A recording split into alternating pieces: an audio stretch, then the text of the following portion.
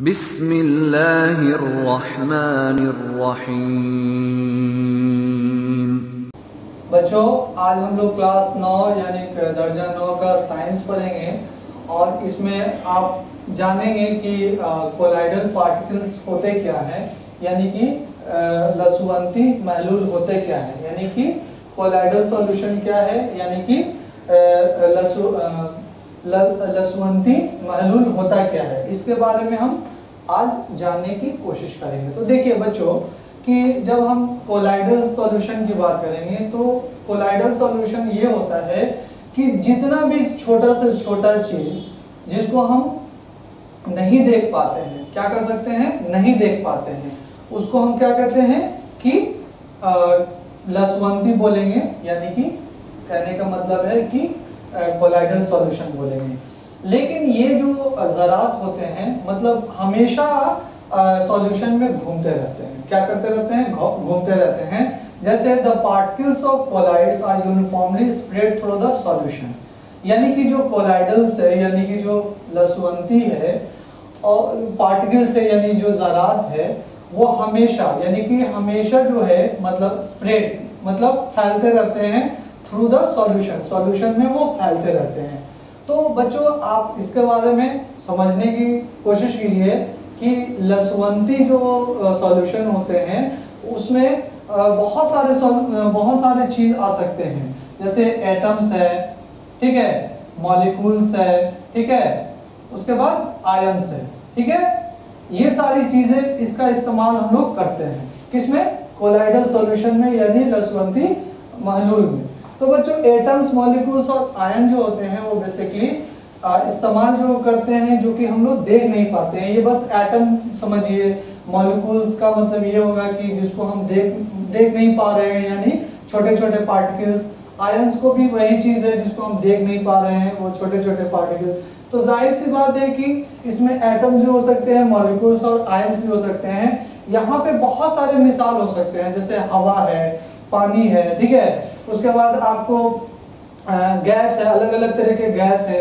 तो ज़ाहिर सी बात है कि जब हम एटम मॉलिक्यूल्स और गैस आयंस की बात करेंगे तो कोलाइडल सॉल्यूशन में ये सारे चीज़ मिले रहते हैं। बस ये समझाने के लिए बताया गया था कि बहुत सारे छोटे छोटे चीज़, जो कि आप देख भी नहीं सकते हैं, वो लसवंती सॉल्यूशन में पाए जाते हैं।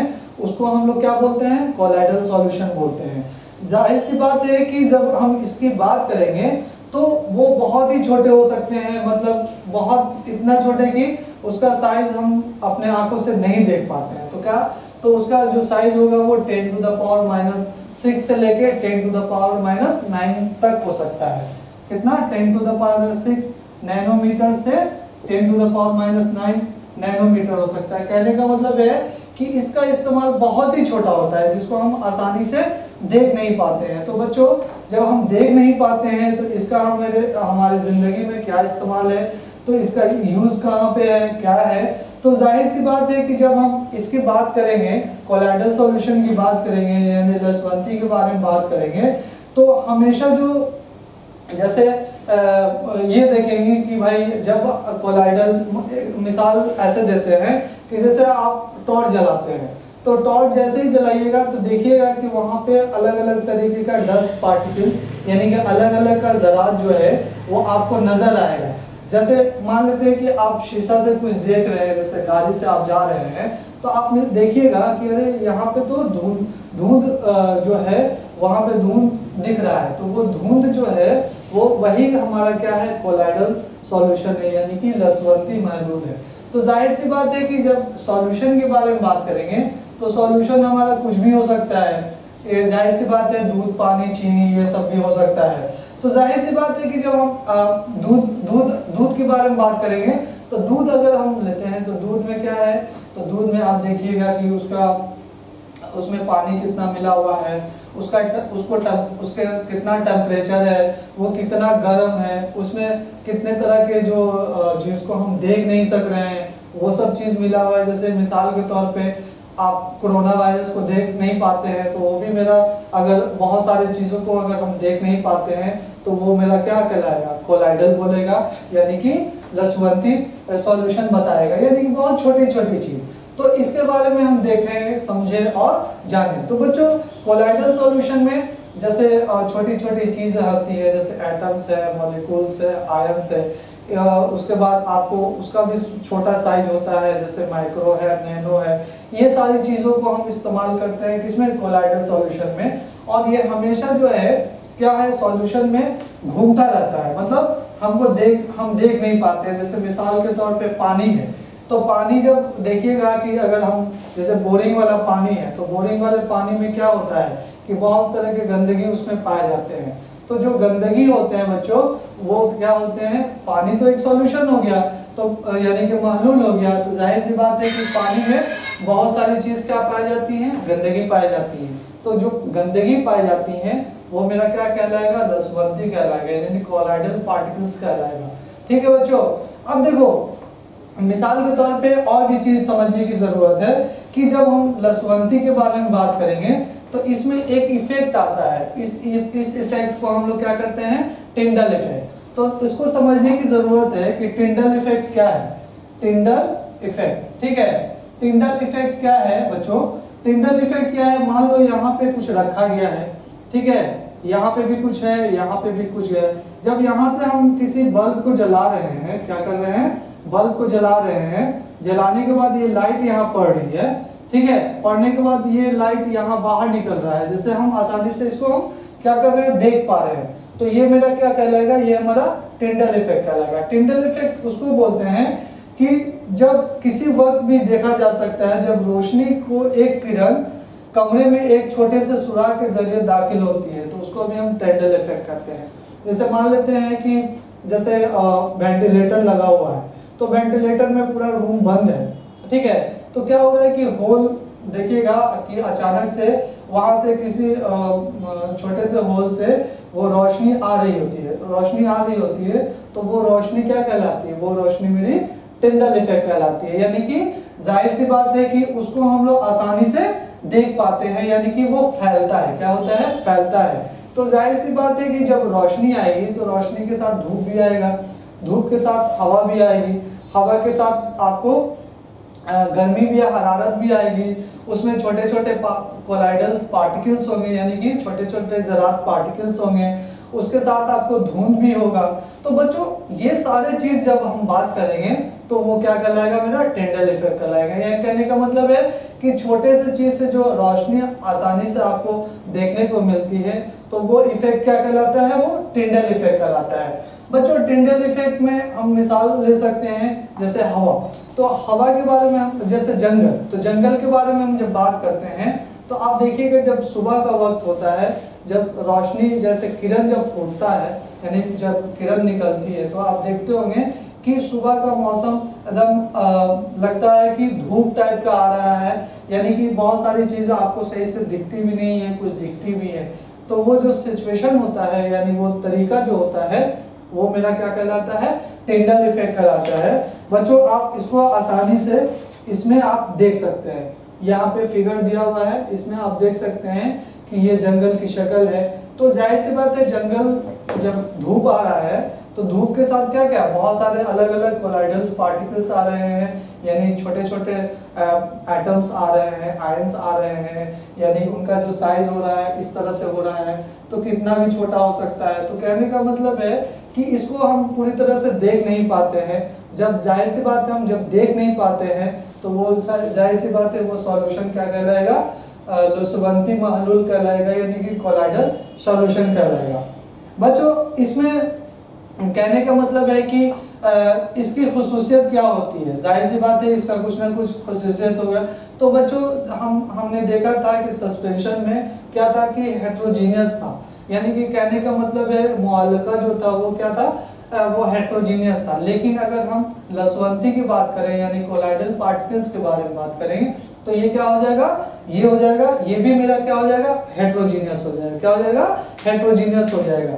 तो जब ज़ाहिर सी बात है कि जब हेट्रोजीनियस हो जाएगा तो उसका मतलब कहने का मतलब है कि जो साइज़ ऑफ़ द पार्टिकल्स हैं, यानी कि उनका जो छोटा छोटा जो पार्टिकल्स है, वो आप एक बार में एक ही देख सकते हैं। पूरी तरह से आप देख नहीं सकते हैं।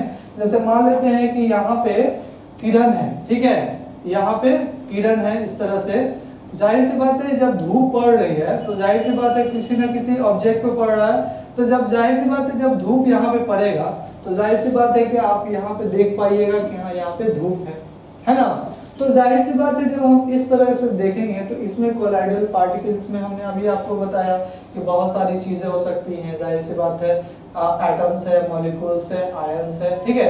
तो कहने का मतलब है कि जिसको हम अपने खुले आँखों से नहीं देख सकते तो ज़ाहिर सी बात है कि जब हम खुले आँखों से नहीं देखेंगे तो कुछ तो देखेंगे तो कितना देखेंगे? तो जो मतलब छोटे से पार्ट को ही हम क्या कर सकते हैं, उसको हम देख सकते हैं। अगला बच्चों है कि जो कहने का मतलब है कि जो तरीका होता है जब हम उसको देखते हैं तो क्या है, जब हम टॉर्च जलाते हैं तो पूरा लाइट जो है किस पे पड़ता है, किसी चीज़ पे पड़ता है। तो ज़ाहिर सी बात है कि उसका परछाई भी कुछ ना कुछ बनता होगा। तो जब परछाई बनता है तो उसके साथ भी कुछ ना कुछ पार्टिकल्स होते हैं। वो पार्टिकल्स क्या कहलाते हैं? कोलाइडल पार्टिकल्स कहलाते हैं।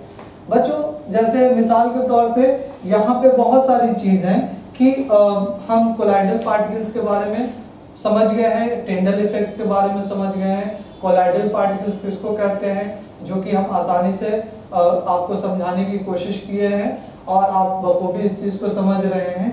इसमें बच्चों दो दो तरीके और आते हैं। एक तरीके को हम लोग डिस्पर्स फ़ेज़ कहते हैं और दूसरे को हम लोग डिस्पर्स डिस्पर्स मीडियम कहते हैं। यानी कि एक को हम लोग कहेंगे इंतसारी हयात कहेंगे और दूसरे को इंतसारी वसीला कहेंगे।